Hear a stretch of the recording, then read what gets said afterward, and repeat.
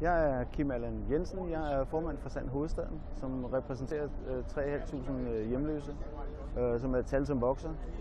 Jeg er herinde ved retten i dag og har sovet herinde sammen med nogle andre aktivister for at gøre opmærksom på den nye lejelov, som er helt hen i vejret. Bare stresser os yderligere og, og egentlig er bygget for at forhindre romager i at være her. Og det har ikke hjulpet. Der er lige så mange romager, som der altid har været. De gemmer sig bare bedre. I stedet for så burde de øh, sørge for, at der var nogle steder, de kunne være, vi kunne være, og ja, sørge for nogle billige boliger, og i det hele taget øh, være opmærksom på, at der faktisk findes hjemløse, at de bliver ved med at være der.